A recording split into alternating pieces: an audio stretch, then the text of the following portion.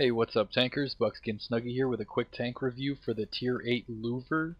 I might have probably pronounced that wrong just now. It's the Low or the Louver or the Louvre. I'm not really too sure what it is, but it's the Tier 8 Premium German Heavy Tank. It's basically the 70 ton super heavy tank actually.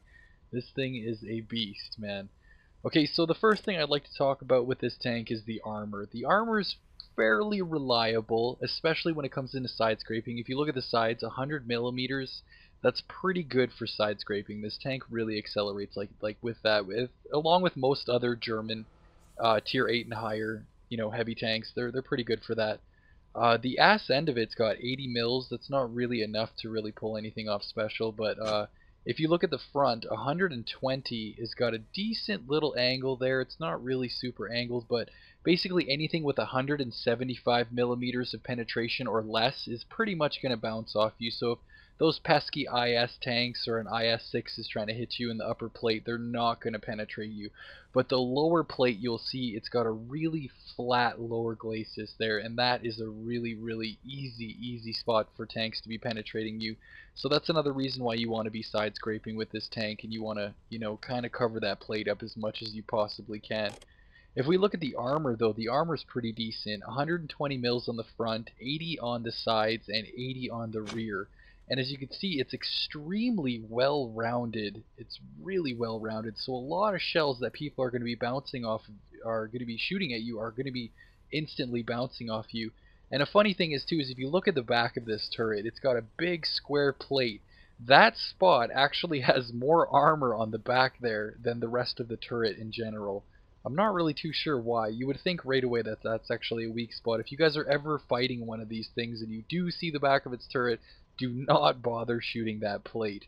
The only real stipulation that I have with this turret though is if you look underneath the gun mantlet, that line underneath pretty much right around to the front there is it's I basically call it like the throat of the turret. That is a very, very, very weak spot for this tank. If you ever get a chance to be fighting one from the front and you can't you know, if you're up close and you're brawling with him, uh, try to punch him right there and you will tear through him every time. The commander's hatch can be a little bit big with this tank. As you can see, it's kind of got some size to it. So getting hull down is, you know, really effective with this tank, of course, because of the turret in general. But yeah, that turret, that commander's hatch can be really kind of tricky. The one thing I would like to point out with this tank though is a lot of people have bought this tank and consider it to be absolute crap, and which I do not believe it is. If you look at the gun, okay, the gun is very reliable. 234 standard penetration, you know, that's that's a pretty good average penetration for a tier 8 heavy tank. 320 alpha damage, nothing really too special, but that's still pretty good for the fact that it gets 5 rounds a minute. So you're basically, it's about a 12 second reload, you know, so it's not really too bad. But it's the accuracy that's really great with this gun. Like most other German tanks, you know, especially the TDs and somewhat for the heavies, the, the gun is very accurate. .33, that is very reliable. Uh, 0.285 for the aim time, that's that's pretty good. You know, if, if we, like in my other video I was showing with the T-34 Tier 8 Premium Heavy Tank for the Americans, that one has a 3.4 aim time, which is absolutely atrocious. The traverse speed for this tank, it's not really something too great. 24 degrees per second, that's not bad. Uh, the turret traverse speed is 23. That's that's kind of also a little bit tricky to work with. The view range is pretty good with this tank. 400 meters. That's really fantastic for a tier 8 heavy. But one other thing I'd really like to point out with this tank though is the Louver actually has one of the worst camo value ratings in the game. So it is really, really, really easy for this tank to get detected. Even when you are sniping far in the back, it's yeah, it's still possible for you to get spotted. Um, but yeah, like I said, a lot of people really don't care for this tank. They say it's really crappy and it's hard to brawl with, which it is, which it is, don't get me wrong. Um, if you've ever played the Tiger 1 tank, a lot of people will tell you the best playstyle for that tank is to be a sniper role with it. You kind of want to play it like a tank destroyer. You know, you kind of hide in the back a little bit. You use that extremely accurate gun with a good punch to basically be sniping kids from the background. You don't really want to get up too close and personal with this tank. And if we take a quick look at the specs for speed, do not believe that number. Okay, I get it that 35 kilometers per hour is the top speed for this tank, but you will rarely ever ever reach that top speed. Going downhill, you will still have a hard time reaching that top speed. You got to fully understand this tank weighs 70 tons. 800 horsepower for the acceleration, you know, like it sounds great and all, but the power to weight ratio is very very poor in this tank. This thing when artillery sees this tank, their mouth waters because they're like, oh my god, that tank is super slow, easy target, easy, easy, easy target. So you really do not want to be getting spotted in this tank. You don't really want to be in the front of the, you know, front of the lines, trying to rip shit up and kick some ass. You got to kind of play conservative with this tank, and I guarantee if you keep that in mind and you have that sort of mentality play style, you will you will put in some very good work with this tank. Um, as you can see for equipment here, I basically run the super heavy spall liner. 50% chance to protect crew from critical damage. 50% uh, armor protection from ramming and explosions. Okay, that though in itself from the explosions, that does not mean from when an artillery shell penetrates you. It only gives you 50% protection to splash damage. You have to keep that in mind. So it's another reason why you really don't want to be spotted with this thing because like I said, arty is going to gun for you. There could be six tanks around you. I guarantee if that artillery is smart, he's going to aim for you. So keep that in mind. Uh, ventilation, as I said in my other video before, you know, a lot of people don't realize ventilation will actually help increase your camo value. So that's kind of essential for this tank. Not to mention it will increase your reload times, your accuracy, I mean your aim time, sorry. It will help you with your acceleration. Um, and a gun rammer is always reliable for this tank because it has a decent aim time already. I wouldn't exactly go with a vertical stabilizer or a laying drive. I would try to cut down that aim time as much as I can because if the aim time is only two and a half seconds and your reload is about 12 seconds, I guarantee you're going to have this tank fully aimed before that shell reloads. You know what I mean? So you really want to be cutting down that reload time as much as you possibly can. Uh, for supplies, because the penetration with this gun is fairly, fairly above average for a tier 8, you don't really need too many premiums, but like I said, because you are going to be into a uh, tier 10 matches with this tank, you know, it does get normal matchmaking for a tier 8 premium. It's not exactly like the Super Pershing or the FCM 50 ton.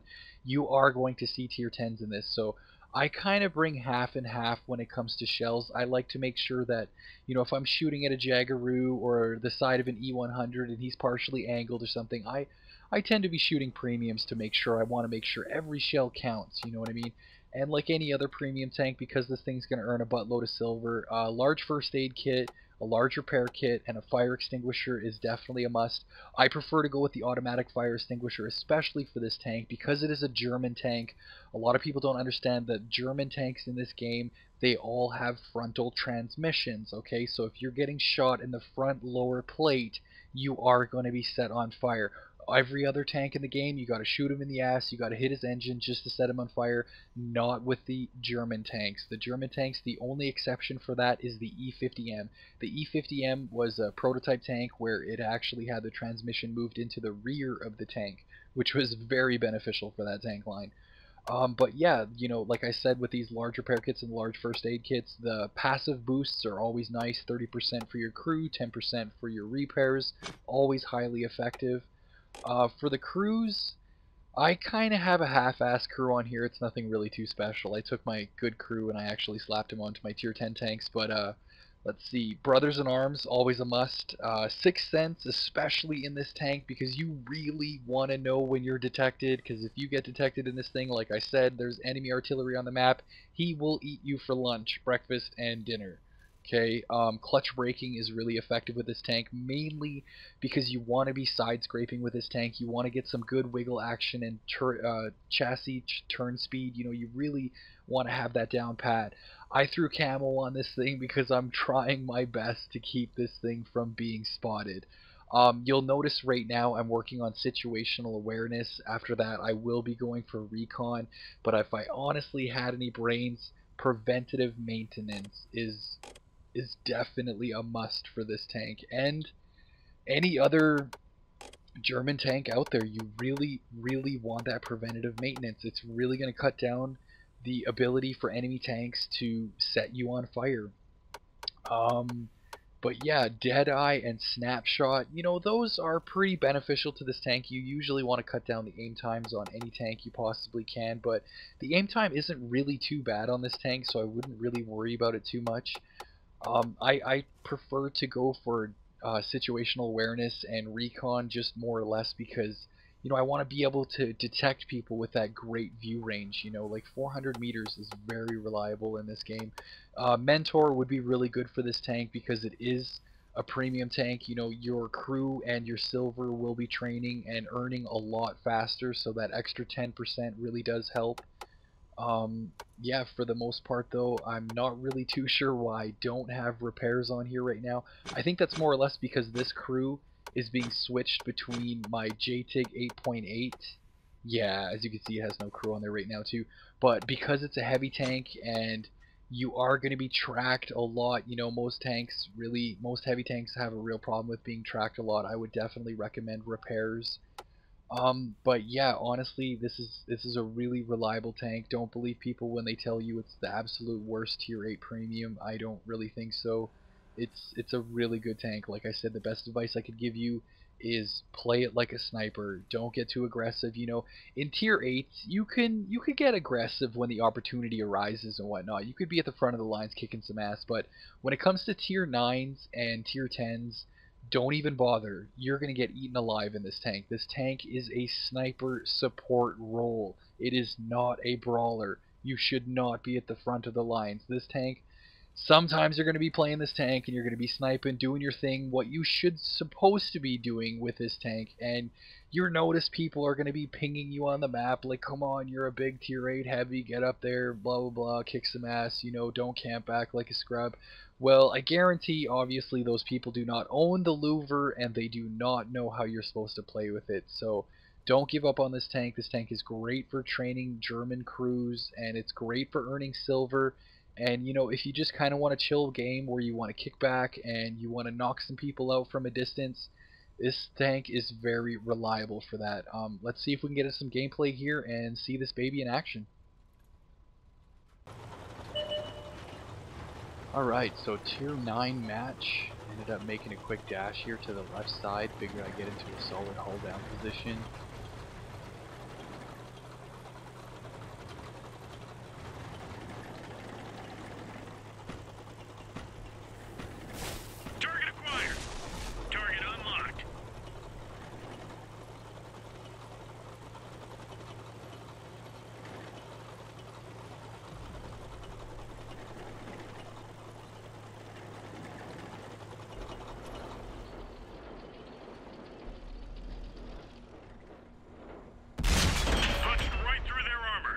A nice lucky shot on the turret of the IS-3. This gun can be really effective. Really effective gun. Now that was just a pure fail. There was no way that would penetrated. So you can see it hit the outside of his turret. In a decent position though. Haven't been spotted yet whatsoever.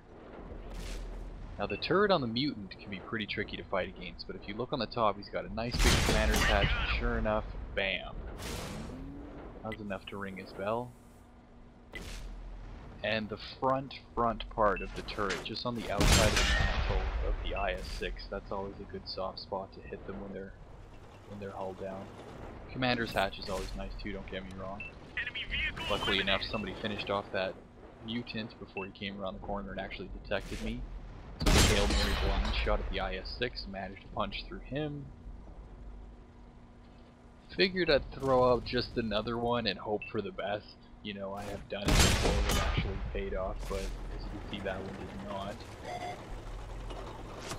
Now quickly detected by the IS-8.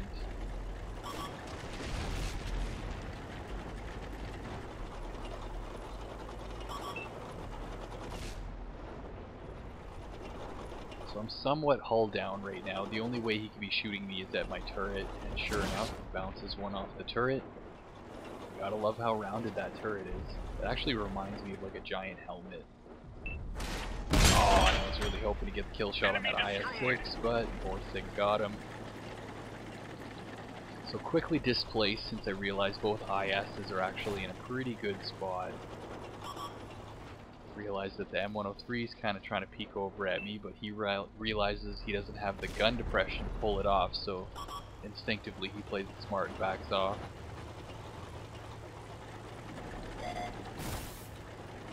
Luckily there was no artillery in this match. Artillery is the bane of this thing's existence. And this cowboy comes flying over, finishes off the Carney. I don't think the Carney really stood a chance there. That was just a fail shot. Sure enough, I hit the dead Carney. track. We're stuck. Track repaired. That was a We foolish shell. penetrate their armor. That was a foolish shot.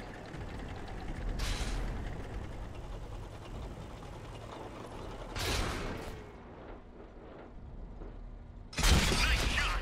Now that Centurion 1 to the left was really pissing me off. But I figured I wanted to commit on the real major threat right now because that guy can pack a lot more of a punch than that Centurion 1. He'll do he'll pepper me for a while, but I had enough health to spare that it wasn't really the biggest deal. Figured I'd at least take one shot at him, though away, and then commit right back to that 103. I'm actually really lucky that 103 didn't eat me alive, because if he was popping me the whole time, I would have been a goner. Good shot on that 103. Ready to fire on target. Let's You can see it's just a stock Centurion 1, so he wasn't really exactly ringing my bell. He was just more or less irritating me. Track repaired. The turret works So try to get repositioned here with a good gun depression, try to get a good shot on this 103. Sure enough, got his ammo. That was a nice lucky shot. it.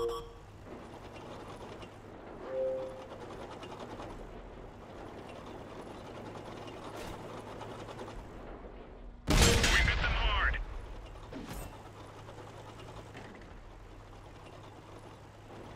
And wait on that reload. Sure enough, quickly catch him before he finishes off our Borsig. And all in all, a pretty good match. But like as I said before, see what I was saying, like you try not to really be at the front of the lines with this tank, you know, try to play a little bit conservatively.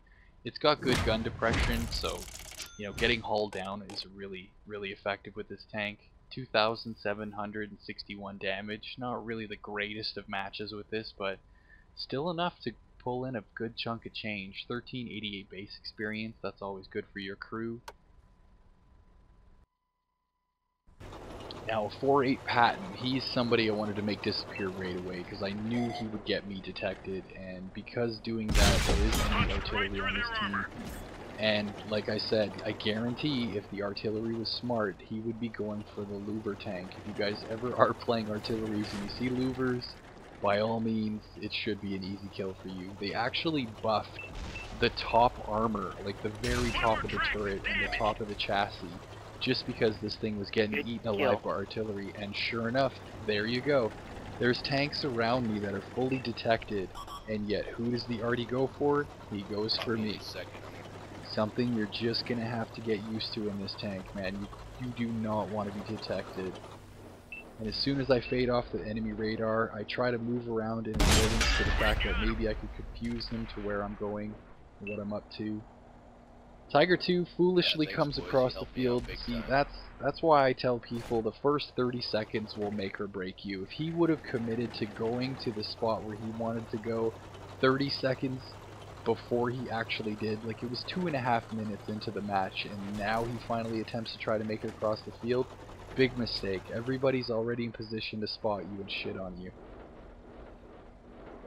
And then here, here you go again. Look at that. That's the effectiveness, the accuracy of this gun, and it's got a great punch to it.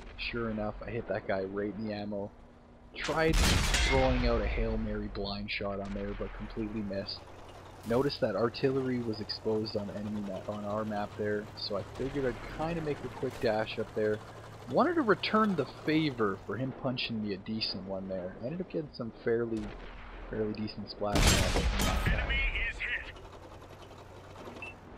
And because this tank has a decent view range and it's got the accuracy, you know, try not to push up too much. Get up just enough so that you can see these guys on your on your view range, you know what I mean? Like you want to be able to see them, but you want to have it so that they can't see you when you shoot. Because if you notice this whole time when I'm shooting, I'm actually not detected whatsoever, and that's what you want to do. You want to get these enemy tanks within a 400 to 500 meter view range distance. You got a mic. Quickly realize the E75's up here, and this tank, it has a gun strong enough to punch through the lower plate on the E75. As you can see, he was angled just enough where my shell basically bounced off his side. Plant one right inside for 347, not the greatest roll, but enough to hurt him. Still making that silver with these kind of hits. His tracks ate that shell. That one didn't go through. Try to reposition the gun. And sure enough, he's done. Yeah. Kill, boys.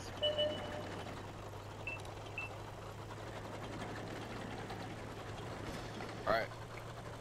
Guys. So try to get on some flat ground here with the least amount of ground resistance. So try to make a mad dash up there to actually kind of put in a fight with that last heavy tank. But I kind of knew it was a long shot though with this many guys. But like I said, as you can see, this tank really does excel at being a sniper. It's it's really tricky to kind of get this tank out there to brawl with. That lower plate is a really huge weak spot. That throat part of the turret, another great weak spot. You know, if you can, just Oh, be yeah, conservative when you're playing this tank, man. You will make a lot of silver. You will survive a lot of battles, and you could really get some good hits in there. Even with a standard account, if it's not premium. I did a fairly mediocre match here. Still would have pulled in 47,000 without a premium tank, you know. 2100 damage, not the greatest. As you could see, the T62A completely dominated in this match, so of course he was going to be MVP but you know I outplayed a couple of tier nines, um, and most of the tier eights. I'm the only tier eight up there in fourth place. 2,300 experience with a premium account. That's pretty good for your crew. It's it's a really solid, reliable tank. I would recommend for anybody to get this if they like playing the sniper role. Um, I hope you guys enjoy the video. I hope it was informative. Good luck in your next battles, guys, and see you guys out there.